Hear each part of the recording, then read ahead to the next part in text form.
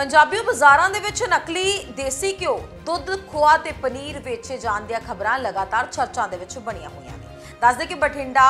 30 October ਸਿਹਤ ਵਿਭਾਗ ਦੇ ਅੰਕੜਿਆਂ ਅਨੁਸਾਰ ਦੀਵਾਲੀ ਮੌਕੇ ਵਿਕਣ ਵਾਲੀਆਂ ਮਿਠਾਈਆਂ ਦੀ ਕੁਆਲਿਟੀ ਪੱਖੋਂ ਮਾਪਦੰਡ ਤੇ ਖਰੀਆਂ ਨਹੀਂ ਉਤਰੀਆਂ। ਮੀਡੀਆ ਰਿਪੋਰਟਾਂ ਦੇ ਵਿੱਚ ਇਹ ਗੱਲ ਸਪਸ਼ਟ ਹੋਈ ਹੈ ਕਿ ਦੇਸ਼ ਵਿੱਚ ਵੱਡੇ ਪੱਧਰ ਤੇ ਇੱਕ ਨਾਮੀ ਕੰਪਨੀ ਦੇ ਨਾਂ ਤੇ ਵਿਕਣ ਵਾਲੇ ਦੇਸੀ ਘਿਓ ਦੇ ਡੱਬਿਆਂ ਦੇ ਵਿੱਚ ਉਸਦੇ ਡਿਜ਼ਾਈਨ ਦੇ ਹੂਬਹੂ ਕਾਪੀ ਕਰਕੇ ਮੁਨਾਫਾਖੋਰ ਵੱਲੋਂ ਹਜ਼ਾਰਾਂ ਟਨ ਦੇਸੀ ਘਿਓ ਤਿਉਹਾਰਾਂ ਦੇ ਮੱਦੇਨਜ਼ਰ ਵੇਚਣ ਦੇ ਲਈ ਲੋਕਾਂ ਦੇ ਨਾਲ ਧੋਖਾ ਕਰਨ ਦੇ ਲਈ ਮਾਰਕੀਟ 'ਚ ਉਤਾਰ ਦਿੱਤਾ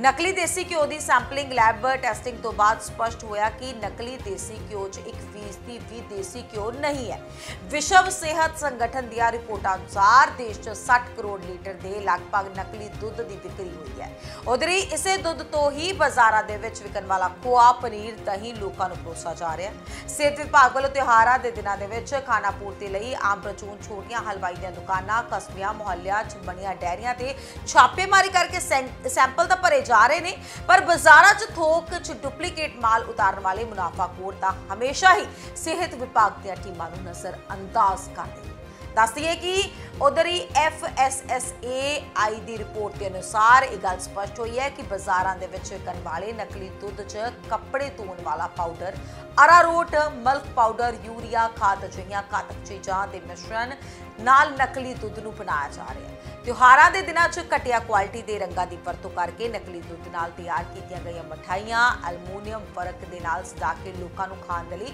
ਵੇਚੀਆਂ ਜਾ ਰਹੀਆਂ ਨੇ। ਤਿਉਹਾਰਾਂ ਤੋਂ ਬਾਅਦ ਦੇਸ਼ ਦੀ ਵੱਡੀ ਆਬਾਦੀ ਘਟੀਆ ਖਾਦ ਪਦਾਰਥਾਂ ਦਾ ਸੇਵਨ ਕਰਨ ਦੇ ਨਾਲ ਭਿਆਨਕ ਬਿਮਾਰੀਆਂ ਦੀ ਜਕੜ ਦੇ ਵਿੱਚ ਆ ਸਕਦੀ ਹੈ। ਪਹਿਲਾਂ ਹੀ ਮਰੀਜ਼ ਬਣ ਚੁੱਕੇ ਲੋਕਾਂ ਨੂੰ ਕੈਂਸਰ, ਸਾਹ ਦੇ ਰੋਗਾਂ, ਸ਼ੂਗਰ ਬਲੱਡ ਪ੍ਰੈਸ਼ਰ ਅਤੇ ਲੀਵਰ ਦੀਆਂ ਬਿਮਾਰੀਆਂ ਲੱਗਣ ਦੇ ਨਾਲ ਵਧੇਰੇ ਆਸਾਰ ਹੁਣ ਇਸ ਦੇ ਵੱਧ ਜਾਣਗੇ। ਇਸ ਸਭ ਗੱਲਾਂ ਦੇ ਸਪਸ਼ਟ ਹੋਣ ਤੋਂ ਬਾਅਦ ਅੱਜ ਤੱਕ ਸਾਰੀਆਂ ਕੇਂਦਰ ਤੇ ਸੂਬਾ ਸਰਕਾਰ ਦੇਸ਼ ਦੇ ਵਿੱਚੋਂ ਲੋਕਾਂ ਦੇ ਨਾਲ ਖਾਣ ਪੀਣ ਦੇ ਮਾਮਲੇ 'ਚ ਖਿਲਵਾੜ ਕਰਨ ਵਾਲਿਆਂ ਤੇ ਕਾਬੂ ਪਾਉਣ ਦੇ ਵਿੱਚ ਫਿਲਹਾਲ ਵੀ ਅਸਫਲ ਹੈ